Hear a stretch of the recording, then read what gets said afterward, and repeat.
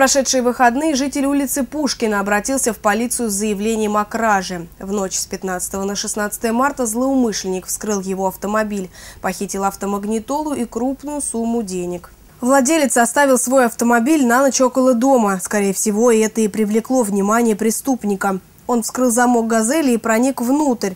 Из машины были похищены магнитола, а из бардачка денежные средства в размере 20 тысяч рублей.